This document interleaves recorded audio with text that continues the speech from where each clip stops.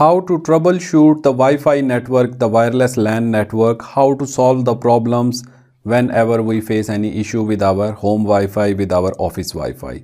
So this is the troubleshooting flow which we should follow. These are six steps and then some further sub steps which we can follow to solve our problem in addition to the previously shared methods. I'll give a revision on those ones as well.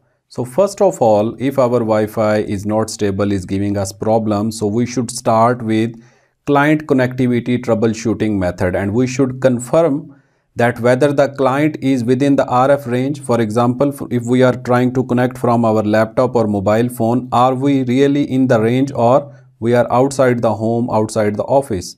And whether it asks to, to associate or not the whether the client authenticates or not, whether the client requests and receives an IP address or not. Go to the settings about or go to your LAN settings on computer and then find. So after you have found all of this and everything goes well, you are getting an IP address, you are getting authentication and all of that, still you have problems, then the second step you should perform is to check the wireless LAN configuration setting at the infrastructure side, not on the client side right? First check on client side, then check on the infrastructure side. So check your security settings, your SSID settings, whether they are good or not, log into your infrastructure and confirm everything. If this is also good, then the next step is to check the access point infrastructure settings. Check your port level configuration, your power source, your access point and antenna orientation and its position, whether it's in correct position on correct level correct height all of this. If this is also good then check your client setting check ssid setting security settings whether it's using wep wpa wpa2 which method for security and is it matching on both sides or not. If this is also good then use appropriate controller tools. If you are using wireless lan controller so use those controller tools like check the graphical user interface logs, check the CLI show command. If it's a Cisco access point, you can connect through telnet SSH and then run the troubleshooting commands which I shared with you previously. If all of this is good, then use third-party tools for troubleshooting. Use OS-based client utilities, use your Wi-Fi scanners, RF mapping tools. I also showed you these tools previously. So go there, check whether you are getting the signals from your router or maybe you are trying to connect to something else which band are you getting and which security settings are you getting how much data rate is it giving you and what is the MAC address of your AP what is BSS ID all of this. So most probably if you follow all of these steps then you will be able to resolve your problem. Of course, you have to reset your client, you have to restart your computer, your mobile phone and also restart your access point or Wi-Fi router. So if you are connected after this and still the Wi-Fi signals are not good, you are getting very low speed or very unstable Wi-Fi, then you can follow those steps that I told you previously that how to increase the range. So not only to increase the range but to get the better coverage you can follow all these steps. So check your frequency band and try to use the less crowded frequency band. Log into your router and change it. You can hide your SSID because might be many other neighbors or other people intruders they are using your Wi-Fi network. So you can hide it you can also check that which channel is best for you. So when we have Wi-Fi let me turn on the Wi-Fi analyzer. So these kind of software utilities you can use which tells us that what is the recommended channel which one is currently best for me. So at the moment it is, telling me that for 2.4 gigahertz channel number 6 is best for me.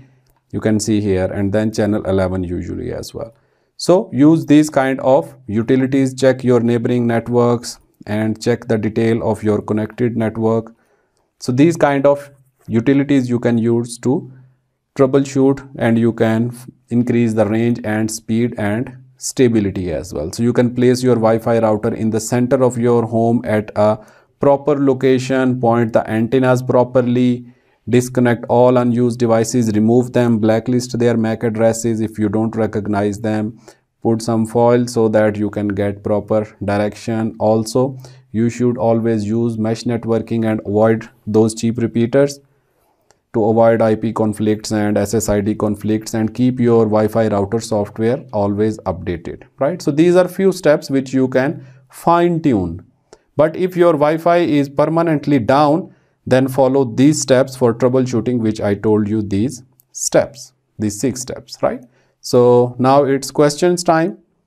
Also go through the lab, the practice lab configuration where you I have given you a task to perform that you have to configure a Wi-Fi access point and you have to use all of these settings for WAN, for security, for password. It will give you a very good idea how Wi-Fi routers work, how to configure them, how to set them up for the first time so that when you will be doing with your own hands, you will understand the things better for your real network. This lab has been designed in Cisco Packet Tracer, which is a free software.